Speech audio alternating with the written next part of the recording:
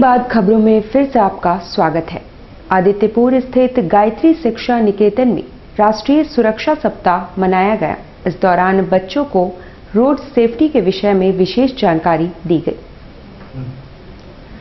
आदित्यपुर स्थित गायत्री शिक्षा निकेतन में सड़क सुरक्षा सप्ताह के अंतर्गत अंतिम दिन छात्रों को यातायात व्यवस्था और सेफ्टी के विषय में विस्तार से जानकारी दी गई। बच्चों के अलावा उनके अभिभावकों को भी यातायात नियमों का पालन करने तथा सुरक्षित ड्राइविंग का आग्रह किया गया। इस दौरान विद्यालय परिसर में सरायकेला के डीटीओ एमवीआई सहित आदित्यपुर थाना प्रभारी ममता कुमारी भी मौजूद थी। छात्रों को ऑडियो और वीडियो क्लिप के ज़रिए भी रोड सेफ्टी के विषय में बताया गया।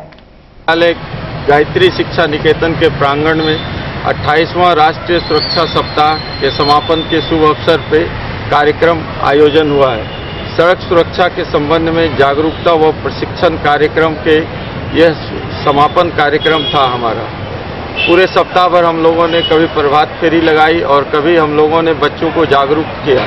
कभी हम लोगों ने वीडियो दिखाकर तो कभी ऑडियो क्लिप सुनाकर बच्चों में जागरूकता पैदा किया, जिससे कि बच्चों को और बच्चों के साथ साथ उनके परिवार में भी उनके गार्जियन को उनके माता पिता से लेकर और हमने यह शपथ भी दिलाई कि आप एक एक बच्चे दस दस बच्चों को अपने गार्जियन को तैयार करेंगे और पश्चिम बंगाल में अशांति और हमले के विरोध में भारतीय गोवंश रक्षा परिषद द्वारा उपायुक्त कार्यालय के बाहर प्रदर्शन किया गया और प्रधानमंत्री के नाम ज्ञापन भी सौंपा गया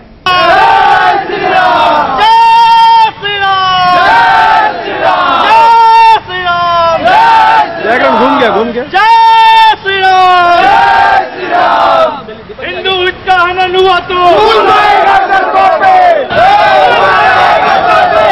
हिंदू का हनन हुआ तो हिंदू का हनन हुआ तो पश्चिम बंगाल में जो हिंदुओं पर अत्याचार हो रही है उस घटनाक्रम को लेकर के हम लोग आज यहाँ पर उपायुक्त महोदय के एक मांग पत्र देने जा रहे हैं जो पश्चिम बंगाल में धार्मिक धार्मिक स्थानों पर हिंदुओं माँ बहनों का ऊपर अत्याचार हो रहा है, जो वहाँ की ममता सरकार मूक दर्शक बनी हुई है, जिसके लिए हम लोग आज यहाँ उपायुक्त महोदय का एक मांग पत्र देने आए हैं कि उन हिंदुओं की रक्षा हो। खबरों में फिर से आपका स्वागत है।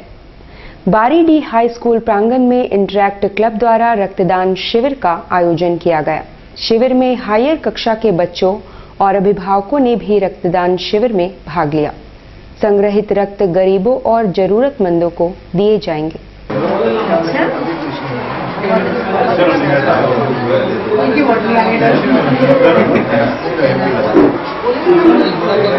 हाई स्कूल इंटरैक्ट क्लब की ओर से हम लोग जो कि रोटरी क्लब वेस्ट के अंतर्गत हम लोग वर्क करते हैं। तो ये रक्तदान शिविर हम लोग आयोजन किए हैं। ये तीसरी बार हमारे स्कूल में किया जा रहा है। तो इसमें शिक्षक शिक्षिकाओं और स्टाफ मेंबर्स एंड पेरेंट्स का बहुत बहुमूल्य योगदान रहा है। हमारे पास आउट स्टूडेंट दे रहे हैं। हमारे स्कूल के पास आउट स्टूडेंट्स भी आ रहे हैं। हाँ, कार्यक्रम एल्यूमिनाई वगैरह सब कोई आ रहे हैं।